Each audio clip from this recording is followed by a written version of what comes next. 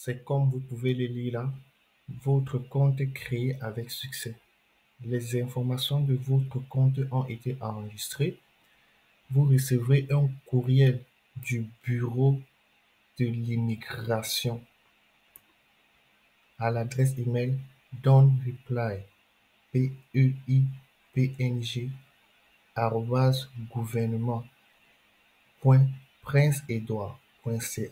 contenant un lien pour terminer le processus de vérification. Donc, comme vous le lisez avec moi là ensemble, on vient de créer notre profil euh, dans le bureau de l'immigration du prince Édouard. Et à partir de ce profil maintenant, vous pouvez aller là-bas, postuler, voir des postes que le bureau d'immigration te permet de postuler là-bas quand tu es à l'extérieur du Canada. Toi qui m'écoutes en ce moment, ça veut dire que tu veux immigrer au Canada.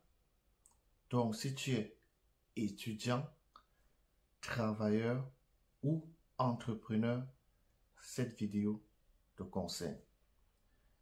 Dans une de mes vidéos, je vous ai parlé du programme d'immigration du Canada Atlantique. Et dans ce programme, quatre provinces sont concernées. Je vous ai fait part déjà de la province du Nouveau-Brunswick.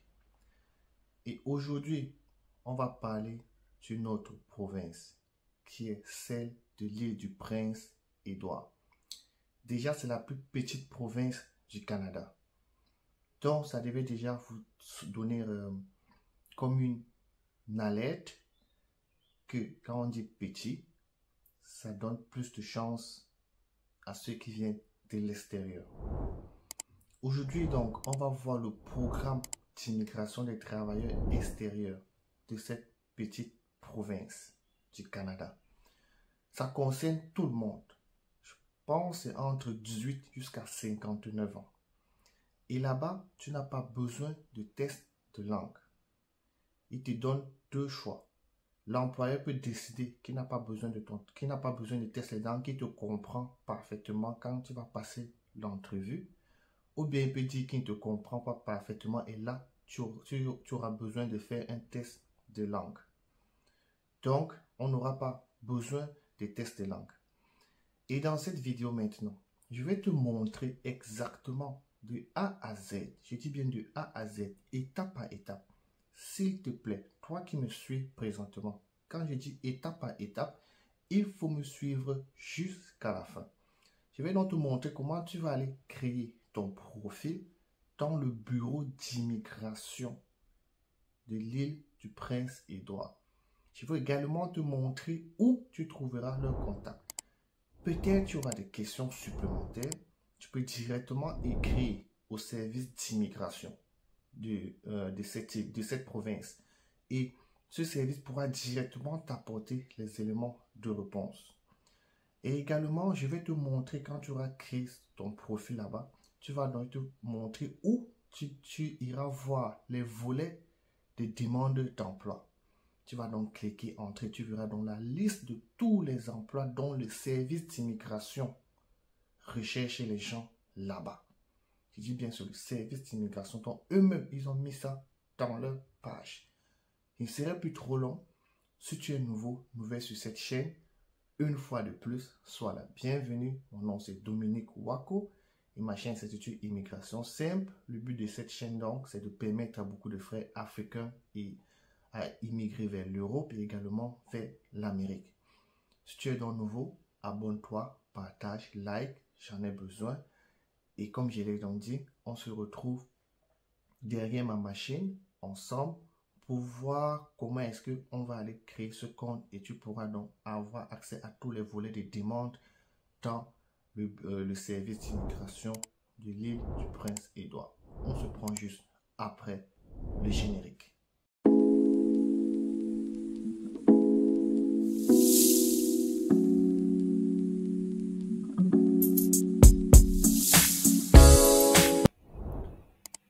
De plus, toi qui m'as rejoint ici, sois la bienvenue. Comme je disais tout à l'heure dans mon introduction, nous avons tous déjà eu à avoir des informations sur le Nouveau-Brunswick. Et comme euh, on sait bien que le programme d'immigration du Canada Atlantique, ça regroupe quatre provinces, donc parmi lesquelles euh, la, prince, euh, la province de l'île Prince-Édouard. C'est donc pour ça que je vais aller vous montrer aujourd'hui comment est-ce qu'il faut faire pour être directement en contact avec le bureau de l'immigration de cette province. Donc, allons-y pour ne pas perdre assez de temps. Comme Google, comme d'habitude, tu tapes ceci, gouvernement de la Nouvelle-Écosse ou, ou, l'île du Prince-Édouard. Comme vous voyez, ça affiche là. Quand tu es là, tu cliques sur le premier lien, gouvernement du Prince-Édouard, parce que c'est dans le site du gouvernement qu'on part voir des informations. On ne prend des informations nulle part ailleurs. Ici, bon, c'est l'accueil, comme d'hab. Donc, vous pouvez lire pour comprendre que c'est que le, euh, euh, pour comprendre, connaître un peu mieux cette île. Et comme il dit, c'est la plus petite île déjà du, du Canada. Ce qui nous intéresse ici, c'est ça. C'est à propos de l'île. Et nous tous, on veut immigrer, non? Donc, on clique sur immigration. Dans l'immigration, là, ils ont écrit, comme il dit, à toutes, vous pouvez lire tout. Et là, euh, il vous parle, il vous parle ici même du, du recrutement des, pardon, je suis un peu grippé là. Il parle du recrutement de, des gens que, recrutement dans la santé, recrutement, activité de recrutement international. Donc, toutes les informations là, vous pouvez cliquer et lire. Parce que comme je dis toujours, le but de cette chaîne, c'est de vous fournir des informations, le max possible d'informations pour que vous-même vous puissiez par vous-même euh, postuler. Et, donc, pour que vous-même, vous vous démarquez, en fait. Pas toujours aller voir les gens, les payer et tout pour rien. Donc, on cherche des informations et on vient partager ça avec vous. On va donc cliquer ici. Travailleurs qualifiés à l'extérieur. Travailleurs qualifiés à l'extérieur du Canada. Donc, ceux qui n'habitent pas dans le Canada. Ici, ils disent, suis admissible. Là, ils donnent tout, vous voyez là, c'est de 21 à 59 ans. Donc déjà, c'est pour tout le monde. Et, ce qui est intéressant ici, il dit un test de langue administré au cours des deux dernières années par un établissement et d'évaluation approuvé d'immigration, réfugiés et citoyenneté Canada. Vous devez avoir atteint au moins le NCLC ou bien le CLB4. Mais encore, voici encore ça là, c'est très intéressant. Dit ici, L'employeur qui indique qu'il est à l'aise avec les compétences de l'employé en anglais et ou en français pour effectuer les tâches associées au poste ouvert sur le formulaire. Ils ont donné le formulaire ici. Donc, si l'employeur dit que non, avec toi, je suis euh, ton anglais et ton français, il n'a pas, de, pas de problème, il te comprend bien, c'est adapté. Tu n'as plus donc besoin de faire ce test de français. Bon, comme il dit là, c'est toutes les conditions à suivre. Ici, ce qui nous intéresse le plus, c'est pouvoir créer ce compte et être en contact avec le bureau d'immigration. Et vous voyez encore ce qui est parfait, les gars. Voici directement l'adresse du bureau d'immigration avec le numéro de téléphone et l'adresse email que vous pouvez directement les écrire au cas où vous avez un problème, être directement en contact avec eux. Vous voyez, ces 300 dollars qu'ils ont mis ici, non, ça c'est quand vous êtes, quand euh, vous avez déjà été contacté par un employé et que votre dossier a bien avancé, c'est là où ils vous demandent ces 300 dollars. Au départ, tout est gratuit. Donc, eux-mêmes, s'ils vous demandent avec, si vous demandent déjà ces 300 dollars, soyez-en sûrs, vous, êtes, vous avez déjà un très, très grand pas pour immigrer au Canada. Remontons donc, c'est ça qui nous intéresse. Système de déclaration d'intérêt de l'île du Prince-Édouard. Donc, tu dois montrer que tu veux y aller là-bas. Maintenant, qu'est-ce qui se passe? On va aller créer un compte. Bon, j'ai déjà créé un, mais c'est pas grave. On va créer un nouveau ensemble. Ici, bon, là, on peut le mettre en français. Ce serait plus facile pour nous tous. OK. Es-tu un ressortissant étranger? Oui, je le suis. Donc, je crée mon compte. Voilà. Il demande ici une adresse email. L'adresse email, je mettrai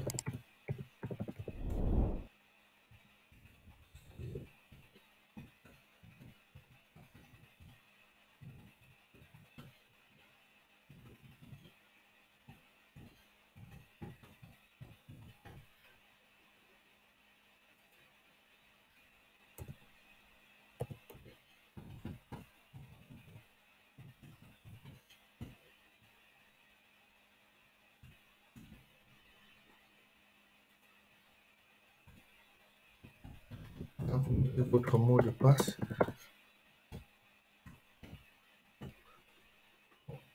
Mot de passe ici, ils ont mis les consignes. Donc, votre mot de passe doit contenir toutes les consignes qu'ils ont mis là. Après, tu dis, je ne suis pas un robot. Et s'inscrit. Voilà. Maintenant, là, il demande notre nom de famille. Comme vous connaissez mon nom de famille, je suis Wako. Mon prénom, c'est Dominique. Comme vous le voyez tous. On sélectionne déjà cette. Je homme. Année de naissance. Bon, je peux mettre premier, premier. Année de naissance, hein, pas comme moi là. 1er janvier 2000. Numéro de téléphone, ben, vous mettez euh, 237, vous mettez un numéro de téléphone.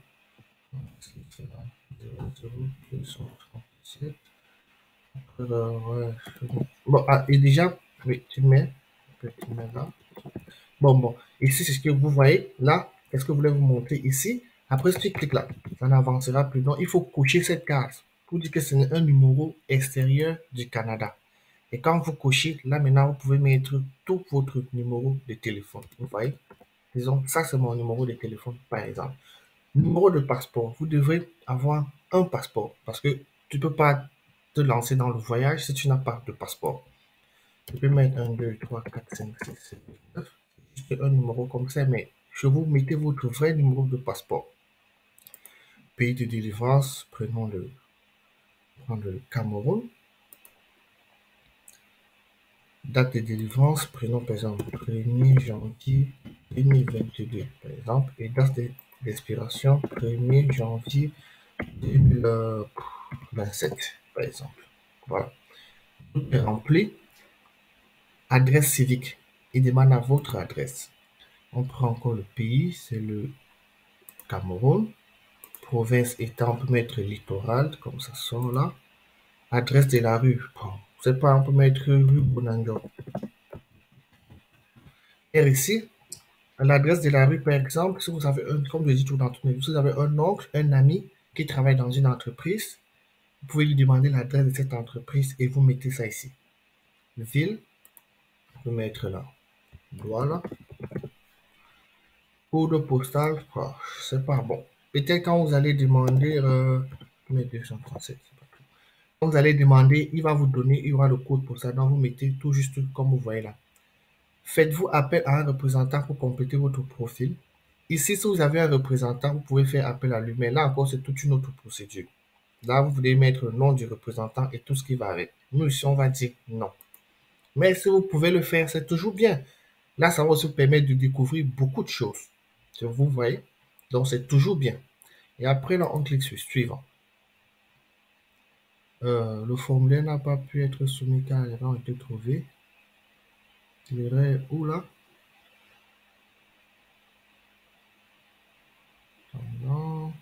Province, État. Pays Cameroun. Pourquoi ça refuse pas. Où est l'erreur? J'ai oublié un champ obligatoire sûrement. C'est là, c'est là. Numéro de téléphone, numéro de passeport, Cameroun. Date de délivrance, date d'expiration, Cameroun, centre, ville Douala. Mais là, c'est bizarre. Je ne vois pas d'erreur. Erreur, pays de délivrance du passeport, numéro du passeport. Ah, ok, ok. Ils disent que bon, le numéro du passeport. Mhm. Mettons un numéro peut-être 45, 67, 45, 36. C'est un peu rare.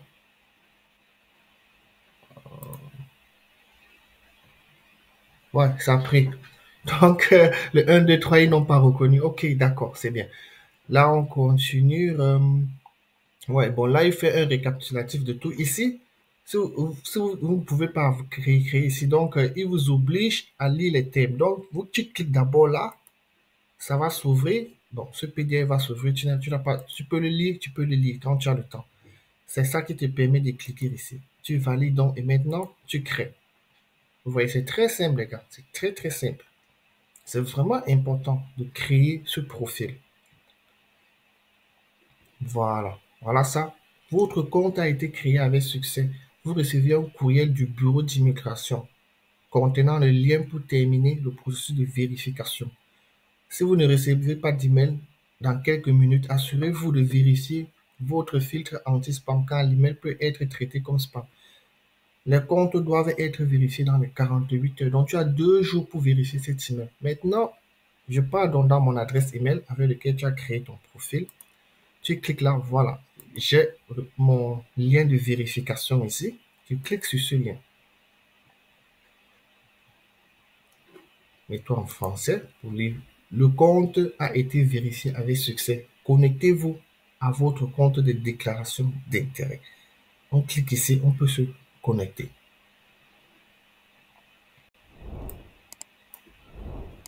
Là, tu te connectes avec ton compte que tu viens de créer tout à l'heure ça. Tu mets ton mot de passe de tout à l'heure.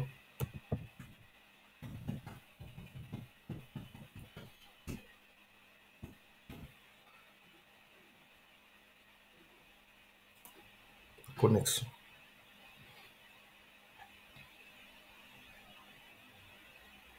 Charge, on attend. Donc, je peux aussi enregistrer ici, qui va me permettre d'entrer facilement euh, dans ce site. On peut encore le mettre en français. Ici, il dit nom de famille Waco, prénom Dominique, mon numéro de passeport est là. Faites-vous appel à un représentant pour compléter votre profil Non représentant. Donc, si tu veux un représentant pour compléter ton profil, dans ce cas-là, tu dis oui. Et là, tu vas faire appel à un représentant pour compléter ton profil. Maintenant, mettre à jour les informations, créer votre profil historique et tout ce qui va avec. Qu'est-ce que nous restons à faire quand on arrive ici? Tu peux donc venir, tu viens sur créer ton profil, par exemple. Tu crées maintenant ton profil ici à l'intérieur. Voilà. Ici, donc, dans créer profil, c'est quoi? Commencez par sélectionner votre catégorie. Je veux travailler à euh, l'île Prince-Édouard. Voilà. Donc, tu cliques maintenant et c'est dit que tu veux travailler là-bas parce que tu as déjà créé ton profil dans le site de l'immigration. Tu veux maintenant travailler là-bas. Et quand tu cliques maintenant, tu vois, il y a toutes ces, tous ces volets de travail qui s'ouvrent, qui s'ouvrent à toi. Tu vois? Donc maintenant, ça sera à toi de chercher, de cliquer sur tous ces volets d'emploi et voir ce qu'ils disent à l'intérieur. Quelles sont les conditions pour postuler là-bas? Est-ce que j'ai toutes les conditions requises pour postuler là-bas? Peut-être ils vont te demander d'aller faire telle chose, ça et ça et ça. Tu le fais tout simplement. Et comme je dis, le plus important, c'est que tu es en contact direct avec le bureau de l'immigration de la province de l'île du Prince-Édouard. Et au début de la vidéo, je vous ai également montré où sont les numéros de téléphone et le numéro, euh, l'adresse email. Donc, si vous avez une question de plus, vous pouvez me laisser ça en commentaire. Si peut-être je vous dis, OK, euh, je peux pas vous apporter les éléments de réponse parce qu'on me dit, moi-même, je ne connais pas tout. Donc, je cherche aussi sur Internet comme vous et je viens partager ceci avec vous. Si je n'ai pas peut-être les éléments de réponse, je peux te dire, ça serait mieux ou bien je peux prendre tes, tes, coordonnées et j'envoie un email au service d'immigration pour toi, pour avoir les éléments de réponse sur cette question. Donc voilà, aujourd'hui, je viens te montrer comment est-ce que tu peux aller créer ton compte sur le, dans le bureau d'immigration de l'île Prince-Édouard et postuler avec des travails. Peut-être pense ici, volet profession en tu entres là, il y aura, des, des travails, peut-être les postes à pouvoir. Et avec leurs conditions, bien évidemment. Si cette vidéo t'a donc plu, laisse un pouce bleu, partage, like et abonne-toi s'il te plaît. J'ai besoin de ça pour faire tourner ma chaîne. Et on se voit donc à bientôt pour une nouvelle vidéo. Et sur ce, passe une bonne journée ou une bonne soirée car ça va dépendre de où tu te trouves actuellement dans le monde. Bonne journée et bonne soirée une fois de plus et surtout abonne-toi. Ciao